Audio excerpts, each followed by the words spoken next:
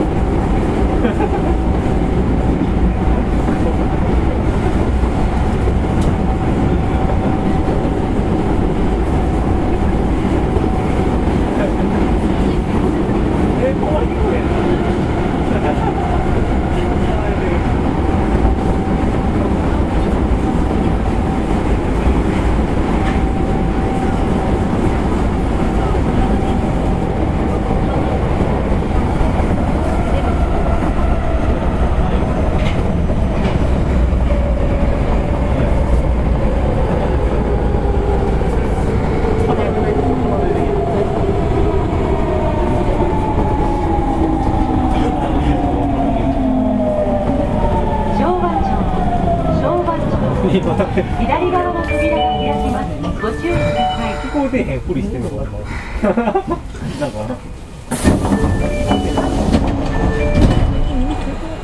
え結構大音量で聞こえてる、ね、そうす。ると、テレパンの時聞こえ？た量の音が結構大音量でこれはもう、6、6、6、6って言って、終わり